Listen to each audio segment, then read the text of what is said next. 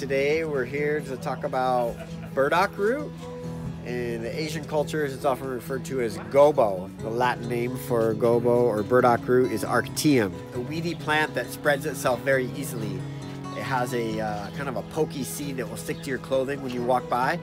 And the inventor of Velcro uh, got the idea from the burdock seed. Very rich in magnesium and potassium.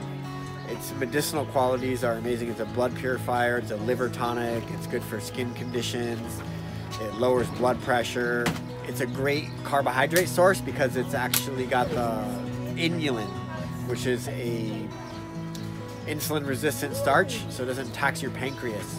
So people who are trying to consume uh, lower carbohydrate, lower sugar, uh, this is a preferred carbohydrate for uh, diabetics.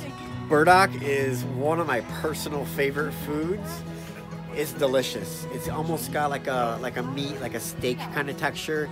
It's got this uh, very long fiber in it. Uh, I'll take some burdock like this, one of my favorite ways. I get these guys on the cutting board, already washed them off, and we'll chop them into rounds, really thin, like maybe you know eighth of an inch to quarter inch thick, and then we'll roast them with some uh, olive oil, and some salt or herbs, and maybe make a, a pesto or a dressing that could go over the top of it. But it's a very satisfying, hearty, uh, savory, delicious. There's there's nothing that tastes like medicine, but it's very, very good for you. It's very, very pleasurable eating experience to eat burdock root. You can use them in your tacos, chop them up, put them in your tacos. It goes great in soup. You can saute it, stir fry with it. Extremely versatile, very good for you.